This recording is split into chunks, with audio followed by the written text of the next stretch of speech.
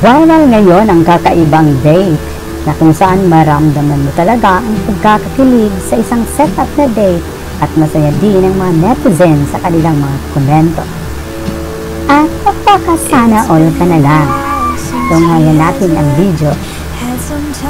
Self-reflect, so now writing this to you.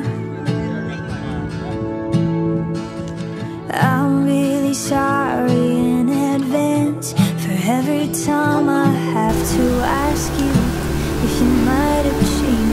Kahit saging basta tunay ang pagmamahal.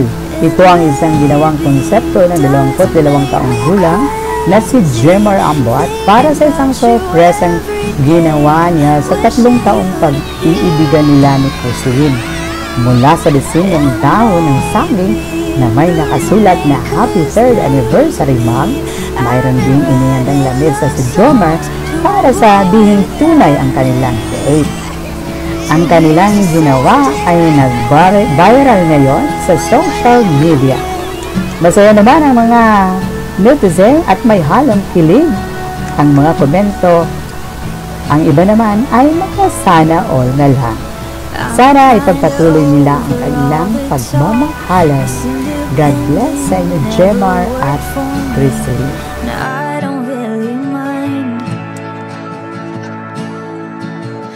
There's nothing wrong with needing you. Anyone who wants to criticize isn't worth the time.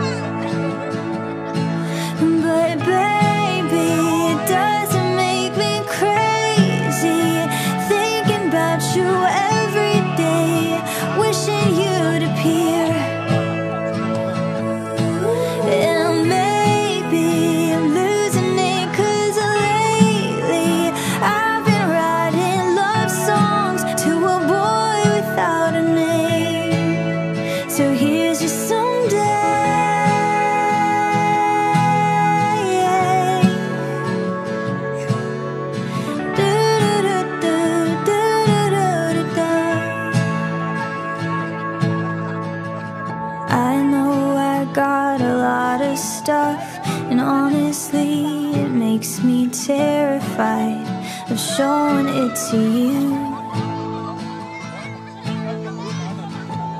But my best friend always says that if you're right for me, you'll never leave, and I'm hoping that it's true.